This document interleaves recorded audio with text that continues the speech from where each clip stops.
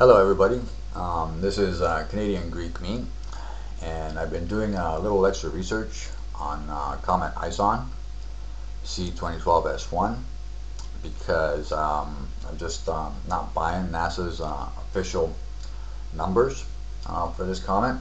Uh, they're saying that it's going to be the comet of the century, possibly the millennium, and then they're telling us it's, gonna, it's only five miles wide. Uh, something, nah, that's, that, that, that's not right.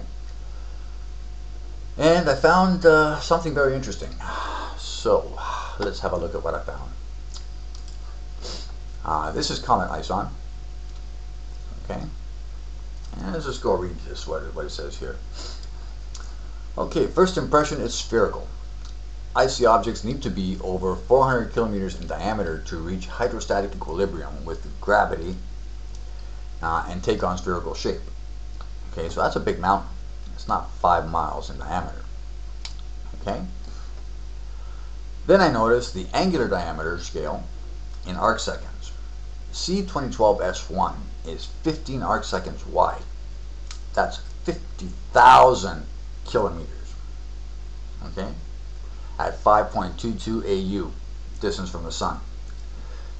Jupiter at the same distance is 30 arc seconds. Okay, the same width as a scale line. So here's a scale line. This is ISON. Now, if this was Jupiter, it would be this wide. Okay. Uh, and NASA's trying to tell us that this thing is what five miles in diameter. Yeah, right. Um, this thing is huge, uh, guys, and it's headed right for us. Um, I mean, I wasn't expecting something this big. I mean, I thought, it, you know, I knew NASA was, you know, full of it, but um, I thought it would be something, you know, maybe yeah, as big as our moon. Um, you know what I mean? Um, I wasn't expecting something to be half the size of Jupiter. This thing is huge. And to add to that, Comet C2012 S1 ISON. Picture was taken in January 2013. There it is, 30 arc seconds. Okay, measurement line. Uh, this thing is about half that, so it's 15 arc seconds. So it's about half the size of Jupiter. Okay, uh, 15 arc seconds at uh, 5.5 AU, which is actually 5.22. Okay, diameter in metric units, 50,000 kilometers. And it's bringing in some trash with it. Um, that moon there, uh, call it a moon, call it trash, call it whatever you want to call it, that's pretty big. Um, that is pretty big for trash. And there's more of them here. Uh, I've seen another video where there's possibly seven other objects coming in with this thing.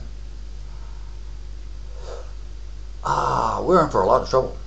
We are in big trouble because when this thing reacts with the sun and uh, the solar flare is going to be, I mean, unbelievable. Um, let alone the trash it's going to come slinging in with it. Um,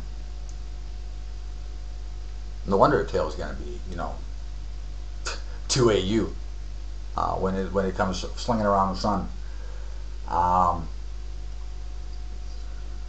that's why that's why they're saying that it's going to have a 200,000 kilometer tail. Now it makes sense. I mean, guys, man, this is like half the size of Jupiter.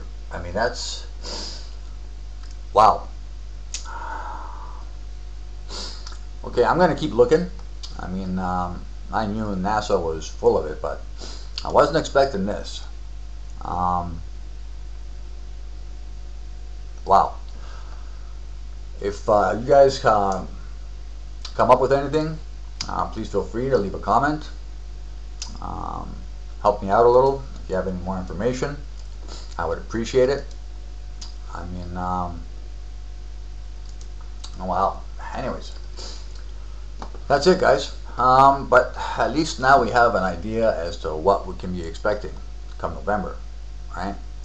And none of this bull, you know what, that NASA's trying to pass us off as a five mile wide, you know, comet.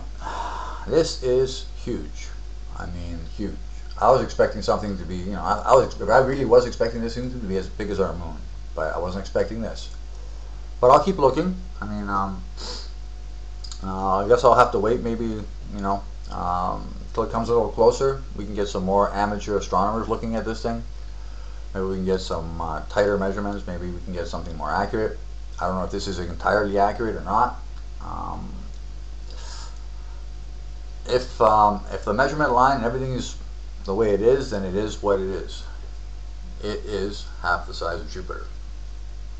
If everything if everything is accurate. Um, so that means we're in for a, we're in for a lot of trouble, a lot of trouble. I can't even begin to start thinking about what's going to happen now. Um, this thing could possibly knock um, Mars out of its orbit. It could pull Mars right out of its orbit, man. This thing's half the size of Jupiter. It's huge. Anyways, um, feel free to leave a comment. Uh, if you guys um, have any other information, please share. I appreciate it. I'm out.